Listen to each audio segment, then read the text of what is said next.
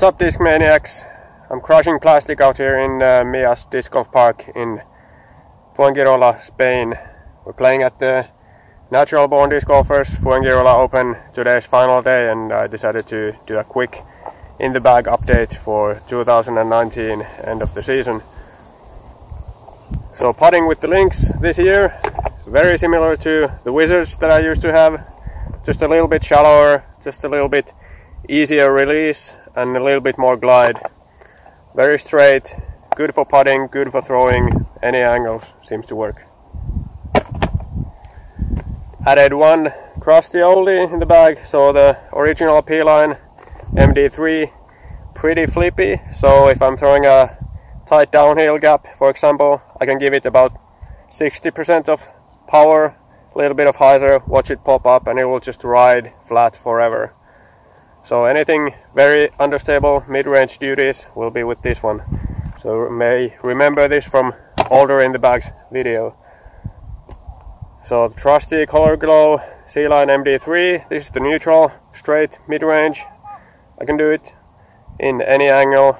It holds straight pretty well with power still. A little bit more overstable, still in the bag. Glow C-Line MD4 a little bit more range, especially if you start it with a little bit anhyzer and get, let it flex out. Very good also for forehands. So I flick this and the MD3 also. Then the overstable mid-range, the crazy overstable concave topped Scott Withers Glow Gator. This is one trick pony, you only want to go to the ground as soon as possible. So nothing new there flippy fairway. So the first run S-line swirly CD2, it will turn over from flat or from pretty good hyzer to flat. So not throwing the understable plastic too much out here in Mijas as it's uh, very windy, but I still have the whole bag with me. Second run FD, which I usually only have for forehand anhyzer flicks I haven't used this uh, disc here at all much, but still in the bag. Good for that stuff. Uh, the three-tooled uh, Color Glow FD2 Leo Piironen signature stamp. This has a little bit more stability than the second run FD, so I can do flex forehands with this a little tighter than with the next.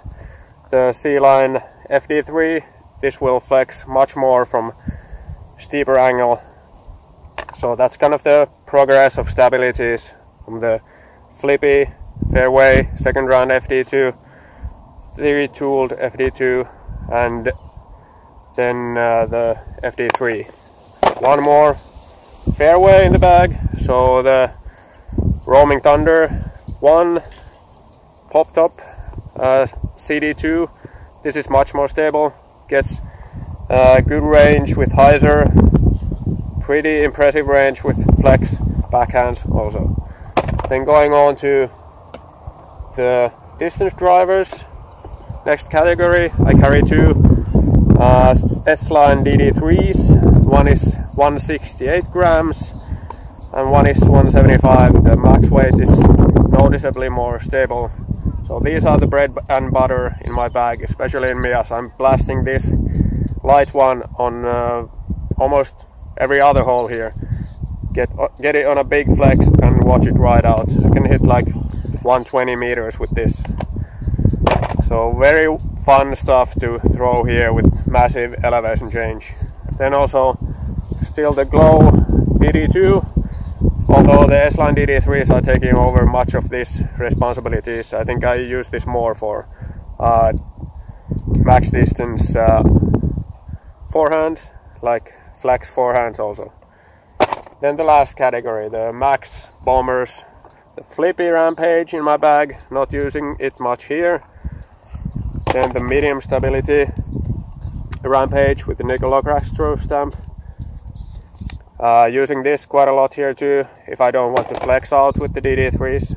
Last in my bag, the Diamond Spirit, which is uh, stupid overstable. Using this a lot here, I can mash it on a like crazy anhyzer angle and watch it flex back. So that's What's in my bag for 2019? See you next year.